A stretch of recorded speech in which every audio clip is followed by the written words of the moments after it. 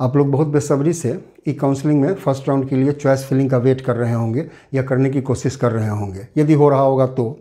लेकिन आप लोग अब ज़रा रुक जाएँ, क्योंकि न्यूज़ कुछ ऐसी आई है कि जो चॉइस फिलिंग है उस पर बहुत बड़ा असर पड़ने वाला है। वैसे ये न्यूज़ कल रात में ही आ गई थी, लेकिन उस समय न्यूज़ थोड़ी सी कंप्लीट नहीं लग रही थी और ना ही उसको थोड़ा सा सपोर्ट था उसके पीछे में न्यूज़ कन्फर्म भी नहीं लग रही थी।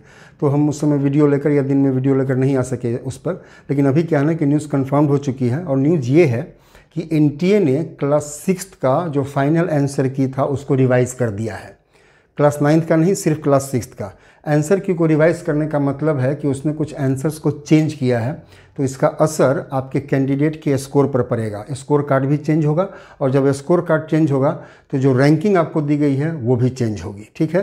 तो कहने का मतलब रिवाइज आंसर की आपका स्कोर चेंज हो जाएगा और स्कोर चेंज होने के बाद जितने भी ranking all India merit list rank में रैंकिंग निकली थी, वो भी चेंज होगी। यहाँ पर एक बात बतला देना चाह रहे हैं कि जो आंसर की को रिवाइज़ किया गया है, उसमें देखना होगा कि कितने का आंसर उसने रिवाइज़ किया है, उसी के हिसाब से आपके नंबर पर असर पड़ेगा। इसके पहले भी जब आंसर की दिया गया था स्कोर कार्ड आया था उसमें कुछ गार्जियंस से मेरी बातचीत हुई थी, उन्होंने कहा था कि जितना नंबर हमने ज़ोर आया, जितना आना चाहिए था फाइनल आंसर के हिसाब से, या उसके पहले जो आंसर की दिया गया था, उसके हिसाब से नंबर मिले नहीं। कुछ ने तो यहाँ तक कह दिया, बहुत कम ने, लेकिन यहाँ तक कहा कि उनके कैंडिडेट को नंबर ज़्यादा आ गया। दो, चार, पाँच छः नंबर ज़्यादा आ गया। तो ये हो सकता है कि ये कंप्लेन पहुँचा होगा एनटीए के पास तो उन्होंने शायद कुछ मैनुअली चेक किया तो उनको लगा कि कुछ एरर है इस स्कोर कार्ड में या जो स्कोर दिया गया है, उसमें कुछ एरर है। तो उसको उन्होंने सही किया है और सही करने के बाद अभी रिवाइज आंसर की दिया गया है। उसके बाद इस स्कोर को सही करेंगे और उसके बाद all India merit list revise होकर फिर से हम लोग के सामने आएगी। और जब यहाँ ऑल इंडिया मेरिट लिस्ट ही रिवाइज हो जाएगी रैंकिंग सबका चेंज हो जाएगा तो अभी स्कूल जो चॉइस फिलिंग है उसको करने का कोई सेंस नहीं बनता है। क्योंकि उसी रैंक के आधार पर या नंबर के आधार पर ही खासकर रैंक के आधार पर ही आपने चॉइस बनाई होगी स्कूल्स की। तो जब नंबर ही आपके बच्चे का चेंज हो जाएगा तो ऑब्वियस है जो आपने चॉइस बनाई है, उस पर भी अंतर, असर तो पड़ेगा ही पड़ेगा। तो अभी के लिए क्या है कि एनटीए के आप जब वेबसाइट पर जाएँगे ना तो वहाँ पर लिखा हुआ आ रहा है। पहले आता था ना final score final answer key class ninth final answer key class six अब वहाँ पर revised answer key class six लिखा हुआ आ रहा है। आप लोग उसको जाकर देख सकते हैं।